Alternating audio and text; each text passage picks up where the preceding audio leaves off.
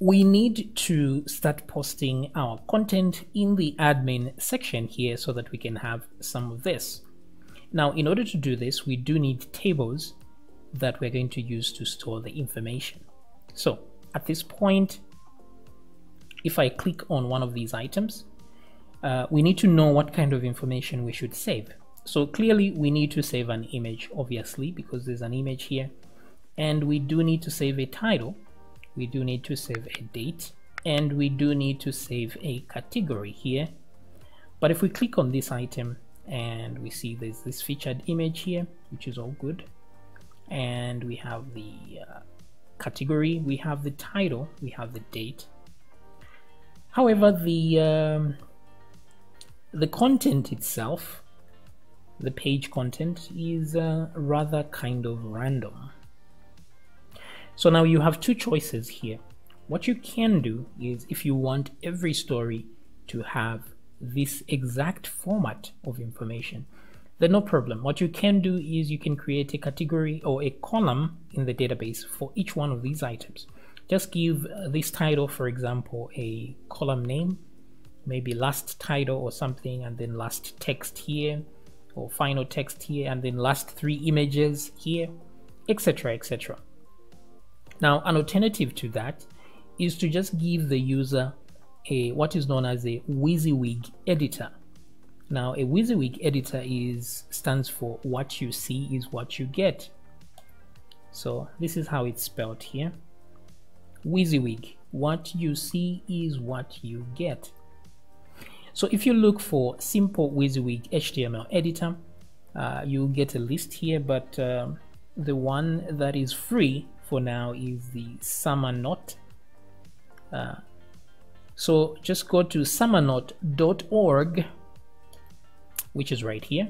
And this is how the editor looks like. So we'll be able to uh, add text freely here and then edit it, put uh, some styling like this and so on, even uh, load images like this. Let's see if we can um, add some images here. Something like this, uh, reduced to 25%, something like this. So you'll be able to freely edit your content and that will be better, I think, so that each blog post is unique in its own way and you can put as much text and information as you want. So what you do when you're here, just click on download here and download the zip folder. And then once you get that zip folder, add it to your uh, main um, this is the magazine folder. I've already downloaded here. It says uh, summernote uh, this is the version current version here but it doesn't matter. Just uh, download it and put it there. So we're going to use that in the next video. But for now let's um, let's deal with the database. So once you download that we are good to go there's some information on it here when you click on get started and you can see how to do the installation but no worries, we're going to do that together and see how to utilize that. Alrighty then. So for now, let's deal with the database, shall we? So we're going to go to the magazine DB for now. And in here, we see that we have a few migrations here. So we don't want to create tables from directly from here. We want to use a migration instead. So let's go back to our text editor let me right click where there is artisan, open that containing folder, and then open the command line to that folder. So I'll type php artisan, and then I'm going to say uh, migration, right? Make migration. Now let's look at the available. So for now, I'm just going to say PHP artisan. Let's look at the available options, shall we? So how exactly do we create a migration? So migrate install or make uh, migration right there. So create a new migration file. Awesome. So it's make migration. I'm going to copy that. So let's come back here and say PHP artisan make migration. And the way we create a migration is to say create underscore and then you write the table name. So here we want a uh, table named uh, posts. So we'll say create posts table. Enter. Okay create post table done created migration I have no idea what it's still doing but uh, seems it's still running something in the background I don't know what however if I go to my database and database folder migrations and I will see that there's a create posts migration here which is good So it has the timestamps that are allowed and the ID. So that's all we need for now. But uh, we need to create a second migration. But for some reason, uh, this thing is still added. I have no idea why. So I'm just going to cancel this because I don't have the patience to wait. And then I will go back to the folder and open a different command console and in here, I will do exactly the same thing. PHP artisan make full colon migration. And then we'll call it uh, create the categories table. So table categories table. And uh, let's press enter. So the migration was created. Good. For some reason, it's still doing its thing again. I have no idea why. Let's go back to the categories and see that uh, the migration has been created. Very good. So we don't need this anymore for now. But then for each table that we make, we need to have a model as well to help with retrieving data from there. So let's go back to our command line. Let's do php artisan make full colon model and what is the model name in here uh, this model we try to create a model name that is the singular of the table so we're just going to say post like this and uh, because that represents the posts table okay let's try that again uh, create one more model uh, this one is categories. Now this one is a bit tricky because it's not just a singular with an S. There's IES there. Category, like this, right? But it's okay. We're going to specify the table nonetheless. So let's just create the model. And then let's type exit to leave this place.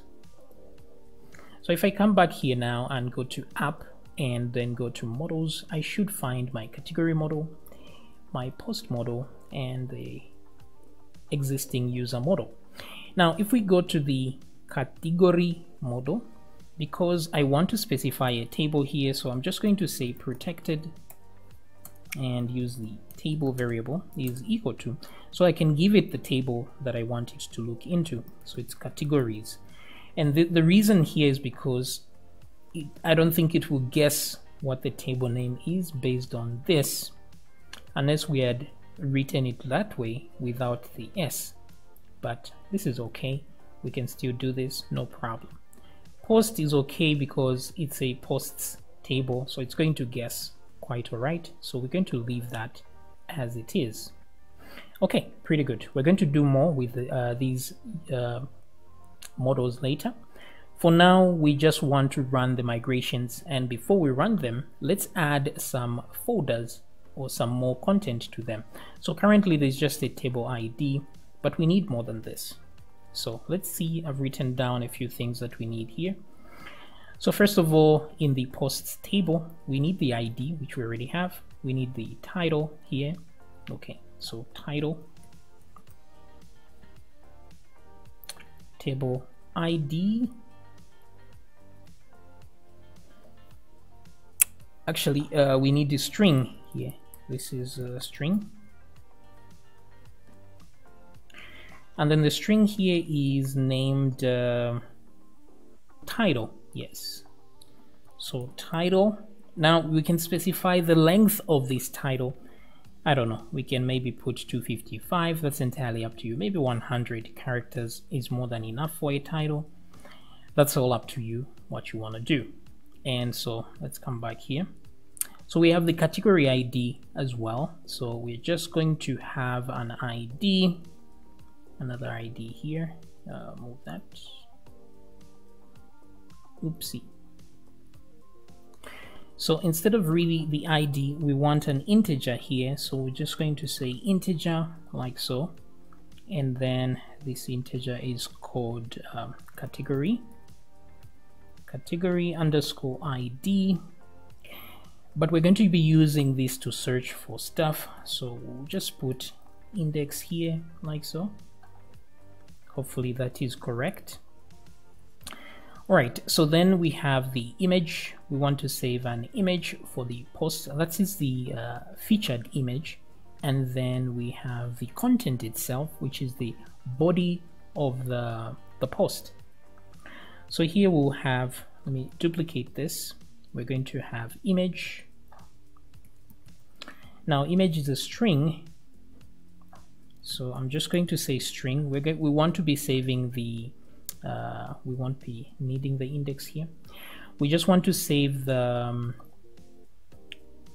let's put it at 255 the path to the image.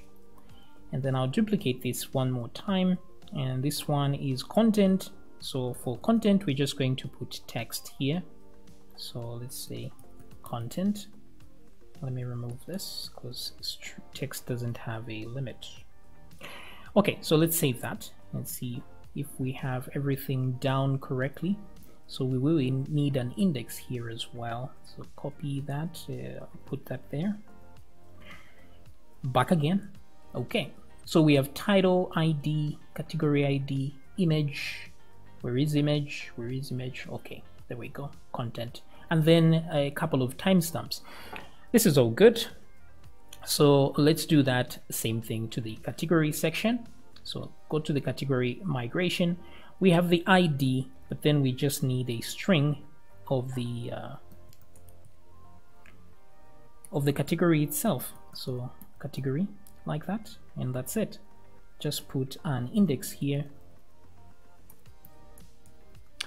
And then of course, we'll put a length uh, to limit the category name, but uh, I'm not sure maybe 50 characters should be enough because we don't want category names to be quite long. Alright, so this should actually do. So let's go and run the migration and see if we've made any errors and then we can fix those. So I'm going to right click. Actually, no need for this. I'm just going to go to the folder itself. Where are my folders? There we go. Type CMD and then let's do PHP artisan migrate. Now, let's look at the options that we have on the migration here before we uh, click on uh, one of these, shall we? So there's migrate here. Um, migrate, just, uh, what does it do? Drop all tables, create the migration, reset, rerun, reroll show the status of migration create a migration. Okay so it seems uh, we have nothing to fear. We just have to say migrate. So php artisan migrate. Okay so it's looking for the ones that it hasn't migrated yet and then it's done. So let's go to our tables and see what we have done Okay, so we have a few new tables here. There's category and posts. So let's go to the structure and see if things are actually good. Okay, so that's good. We do have our indices there. Very nice.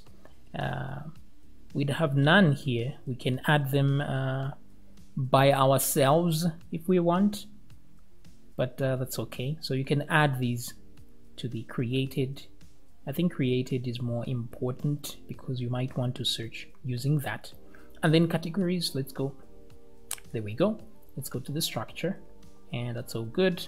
Let's add one more index to the end here. Index. Okie dokie. There we go.